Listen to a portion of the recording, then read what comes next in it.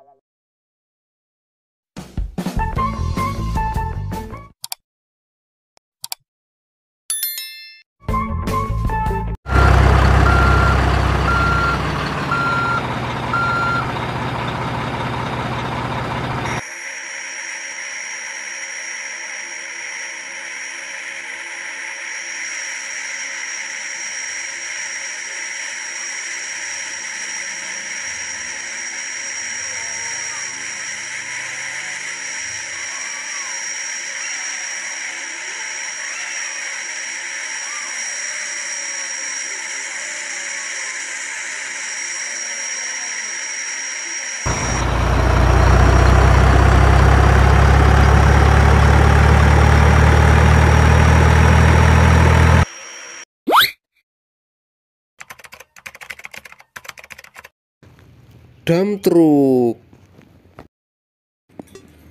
Dump truk merupakan kendaraan pengangkut. Pada proyek konstruksi jalan Alat ini biasanya digunakan untuk mengangkut material pasir, batu, tanah, dan juga aspal. Kendaraan ini dilengkapi dengan mekanisme hidrolik pada bagian bawah bak mobilnya sehingga memudahkan untuk menurunkan material.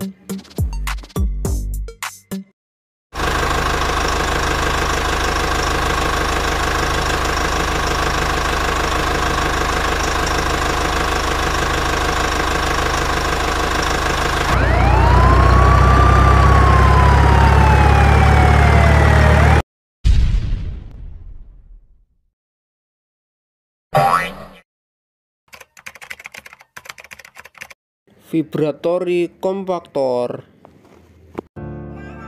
Vibratory kompaktor atau vibroroller merupakan alat berat yang digunakan untuk pekerjaan yang berkaitan dengan pemadatan. Pada proyek konstruksi jalan, alat berat ini digunakan untuk memadatkan tanah dan juga aspal.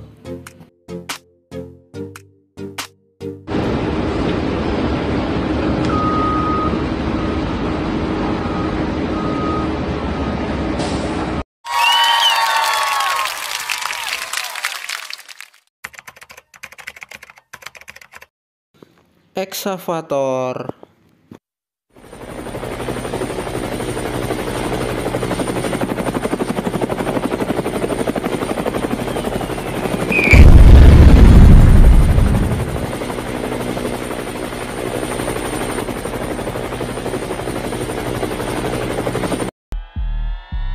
Pada proyek konstruksi jalan, eksavator berfungsi untuk mempersiapkan lahan seperti menggali bukit, meratakan permukaan tanah, dan lain-lain.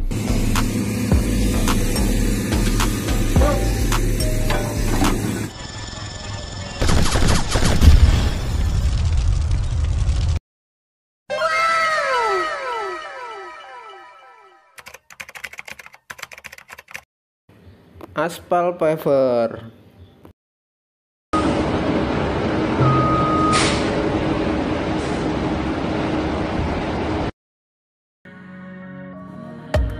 Aspal paver atau yang biasa disebut dengan aspal finisher berfungsi untuk menghamparkan campuran aspal yang telah dibuat sebelumnya.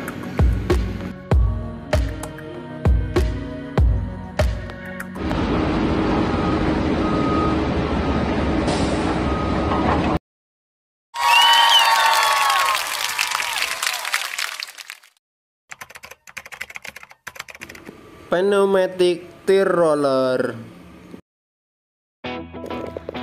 Pneumatic Tire Rollers memiliki fungsi utama sebagai alat pemadatan lapisan base course, feeder course, dan permukaan pada jalan aspal.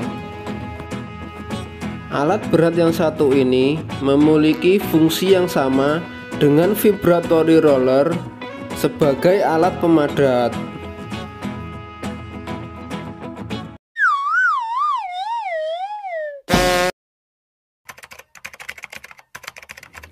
Motor grader Motor grader berfungsi untuk meratakan permukaan tanah sebelum dipadatkan menggunakan vibratory kompaktor. Alat berat ini memiliki pisau yang panjang sehingga bisa mempercepat dalam proses perataan tanah yang akan dibangun jalan.